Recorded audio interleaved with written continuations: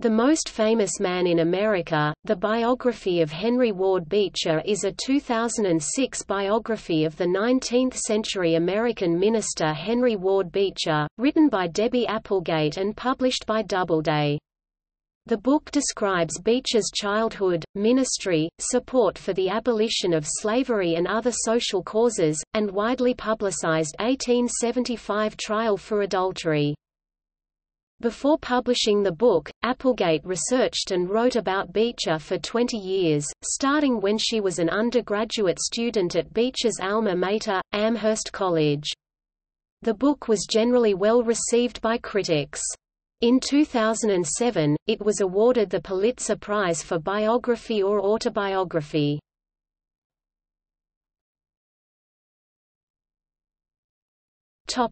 Background As an undergraduate student worker at Amherst College, Applegate was assigned to assemble an exhibit on a famous alumnus and selected Beecher. She later wrote about him for her undergraduate senior thesis and made him the subject of her PhD dissertation at Yale University.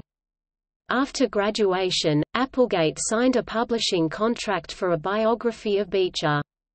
To write a biography with popular appeal, Applegate studied fiction writing, including techniques for suspense and pornographic writing. She structured the resulting book as a psychological thriller, though she had originally hoped to publish the book during the 1998 Lewinsky scandal, in which U.S. President Bill Clinton was discovered to have had a sexual relationship with a White House intern. The research took several years longer than she had initially planned. The book was finally released in 2006 by Doubleday and Three Leaves Press in hardback, paperback, and e-book editions.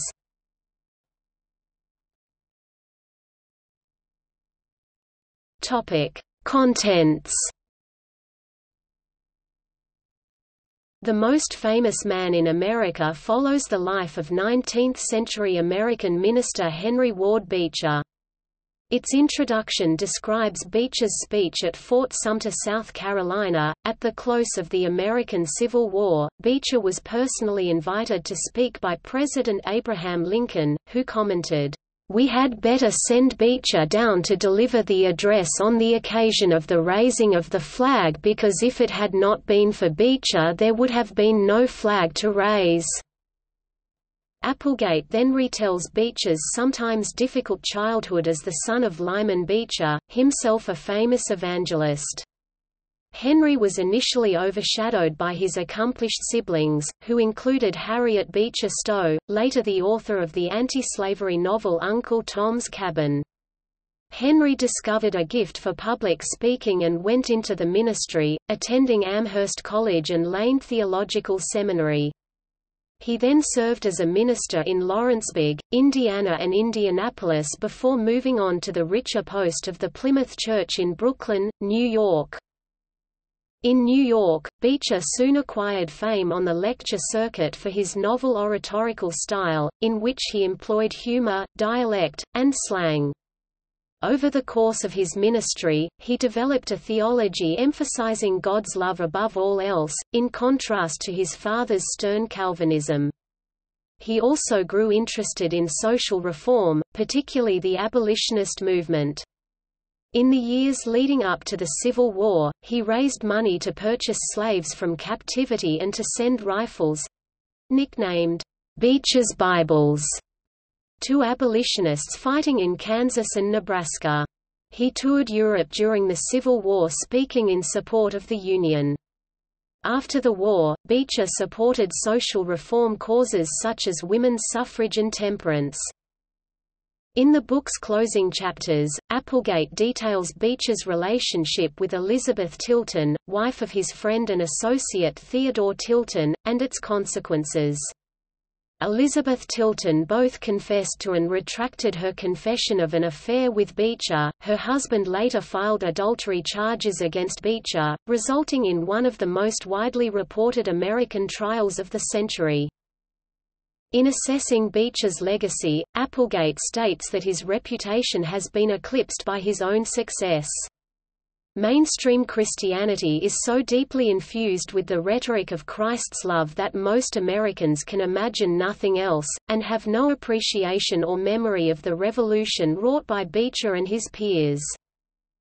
Applegate adds that it is hard not to consider Beecher's various affairs or near affairs hypocritical, but compares him to other great leaders whose need for love and approval led them into sex scandals.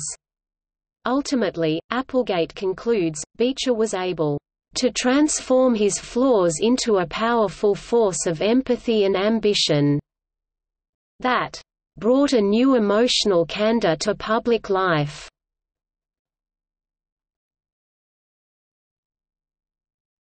Topic: Critical response. The Most Famous Man in America was well received by critics.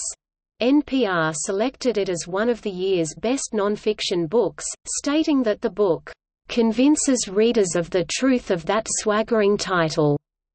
Kirkus Reviews called it a beautifully written biography of America's one best-known preacher an exceptionally thorough and thoughtful account of a spectacular career that helped shape and reflect national preoccupations before, during and after the Civil War.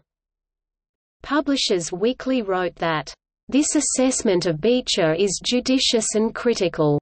Applegate gives an insightful account." In a review for the Boston Globe, Catherine A. Powers called the book a fantastic story with novelistic flair and penetration into the ever-changing motives and expediencies of its many actors." Jon Meacham, reviewing for The Washington Post, called the book, "...illuminating and thorough." Michael Kazin, reviewing the book for The New York Times, stated that the book occasionally "...loses its force in a thicket of personal details," but concluded that it is a biography worthy of its subject. Deirdre Donahue, writing in USA Today, also stated that the book had sometimes excessive detail, but praised its marvelous perspective.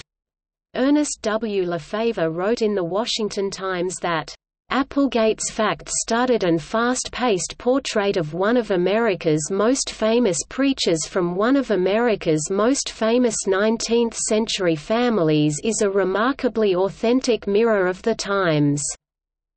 Criticizing only the minor flaw of a lack of nuance in her description of Calvinism.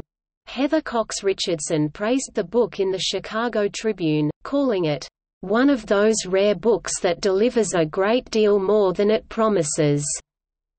Though critical of what she saw as some factual errors and unsubstantiated claims by Applegate, such as Lyman Beecher's role in creating mass media, Richardson concluded that these flaws do not cripple her story. On April 16, 2007, the book was announced as the winner of the Pulitzer Prize for Biography or Autobiography. Applegate said of her win, half of it is just good luck. Had it come out four years ago, I don't think the climate was ready for it. The religious right intersection with politics is very important now.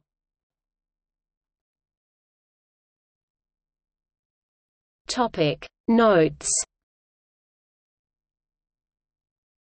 Equals equals equals citations